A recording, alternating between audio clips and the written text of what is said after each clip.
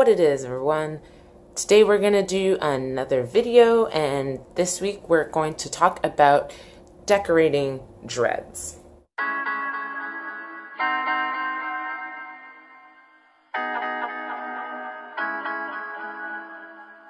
So, dreads are very versatile in the way that you can do pretty much anything you want with them, whether it's styling, coloring, shaving parts of it, or decorating them with sort of things that are not your own hair. And that's what we're going to be talking about today.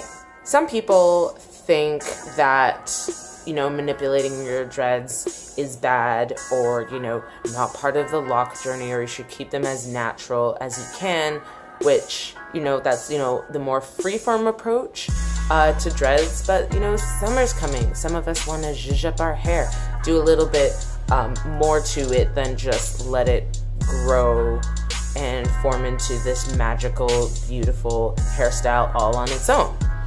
Um, and I personally don't see a problem with, well, I mean, obviously adding color to the hair or jewels or, you know, manipulating uh, manipulating it in other ways than retwisting. I just I don't retwist my hair because I feel like it breaks my hair uh, too much. Also, I just like the look of um, no scalp, as uh, I have talked about before. yeah, so personally, I see nothing wrong with it. Some people, um, you know, there are everything Nazis out there, you know, hair Nazis, fashion Nazis, who will tell you that that is sort of wrong. You're like sort of ruining your hair, or you're like not going on your dread journey the right way, and that's totally fine. Those people are just what I like to call wrong. So today, as I mentioned, we're going to talk about um, sort of ways to decorate your hair like externally.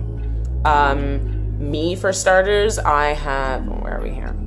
These. So if you see the this color of dread in my hair these are like hair wraps but with like synthetic hair. So we took a synthetic hair color that glows in blacklight because um, if you can't tell i like blacklight stuff. Oh and if you are wondering this background is from neil gibson creation. Every time i use this in a video i will put it in the link. Um, but yeah, um, so I like uh, blacklight things. So instead of dyeing my hair an unrealistic, hard to maintain color, I just wrapped it with some synthetic hair that'll do the work for me and stay that way for life. And I also have, let me see, let me see, where are you? Um, some dyed hair, some dyed hair wraps, and then beads. These little beads, you'll see them like on girls that have like box braids. Some people put them in the real dreads, I think. Some of them are dyed, some of them are extensions, some of them are extended with um, hair, more hair wraps. So I've got kind of a bit all over. Some of it is just dyed and it's fading, but that's just what I've chosen to do. Um, I used to have a lot more, but we're not here to talk about me.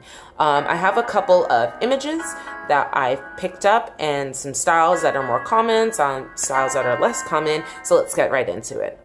So the first one that I want to talk about, since we're well into spring, quickly moving on to summer, it is almost summer and festival season is upon us. And, you know, everyone wants to do something really cute with their hair. Um, and one of the most popular things is flowers. Who doesn't love a good flower crown? And I know some people say that it's tacky, especially for like festival poituses. But you know what? Especially for us dreadheads in the dreaded community, I think that flowers in the hair is just a classic. Never tacky, never overdone. It can be done in so many ways. Um, it's just so natural looking in a way. That's just my opinion. I could be, I could just be stuck in cliche land. But um, I think that these girls have done it like so beautifully.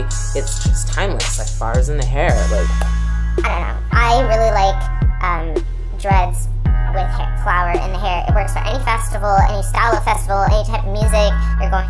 The next one I want to talk about is one of my favorite. She has always been. I've been following her for like at least four years. Um, and she is just in general one of my dread inspirations. Just like her face, her general aesthetic Um, I think we vibe on the same wavelength, uh, style wise, and her dreads are just iconic. Um, it is Voodoo Fairy. Obviously, everyone knows who she is. Um, she does change up her style, not change up her style, but her dreads um, have this way of looking different over the years, very doing very minimal things to it. So I think that's really cool. And she just chopped off her locks and added a bunch of hair wraps to it. So hair wraps will be the next thing we're talking about. Um, this is a very simple thing to do. You just tie some strings around your hair. You can do it where it covers the whole part of dread, or you can do what she has here, which is like just sort of crisscrossing it down um, the length of the lock. Um, I used to actually have these. Um, I don't know if I have any pictures because I never take pictures of myself. Um, but I used to have these again with blacklight string. Um, but yeah, um, after seeing her do sort of a chop and rebranding, I guess, of her dreads, I kind of want to do it too, you know what I'm saying? The next one is someone that I haven't been following for as long, but I definitely think he needs to be think he needs to be talked about because his style is just so awesome. I am naming him the boho king. Um, his style is just so amazing. His personality is just so uplifting and kind of refreshing. Um, and his handle is the dreaded sun. Um, he's just got like everything going on up in his hair. It's very boho style. He also makes like boho clothing, I think, for himself, anyways. Anyways, but his, his style is just amazing. I don't really know how to talk about it because there's just so much going on. But um, these pictures should sort of be self-explanatory. You've got like beads in there, little danglies, little wraps, little bit of everything, but all together I think it makes a really great like look, just overall look.